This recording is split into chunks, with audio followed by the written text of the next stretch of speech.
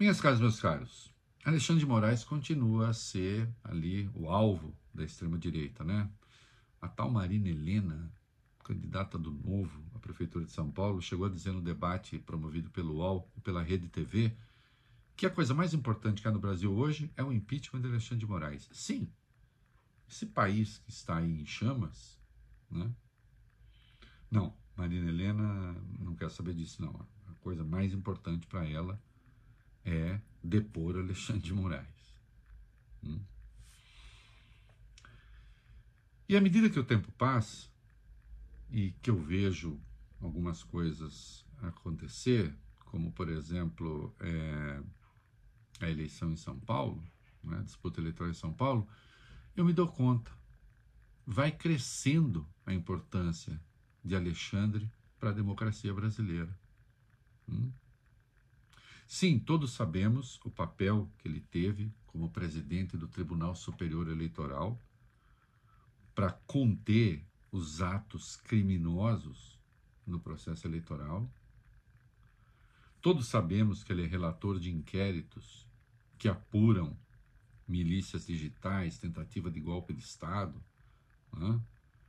e também dos, é, é, do inquérito que acabou condenando aqueles que praticaram os atos golpistas de 8 de janeiro, e sempre com muita firmeza, com muita clareza, daí o ódio que desperte.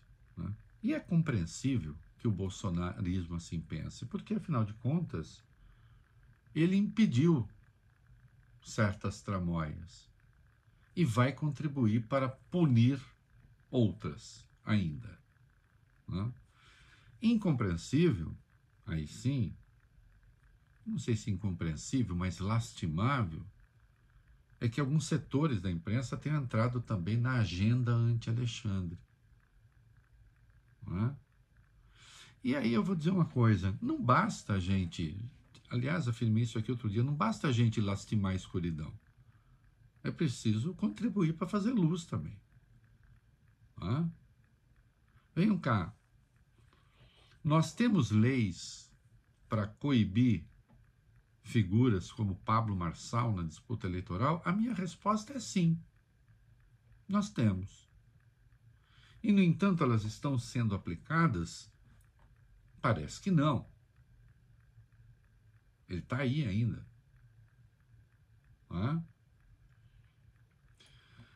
Vejam, é, não basta a gente ter um arcabouço jurídico objetivo que se encarregue de é, prever a, a, as condutas que merecem punição e prever também as punições. É preciso que haja disposição subjetiva dos sujeitos para aplicar a norma, para aplicar a lei. É?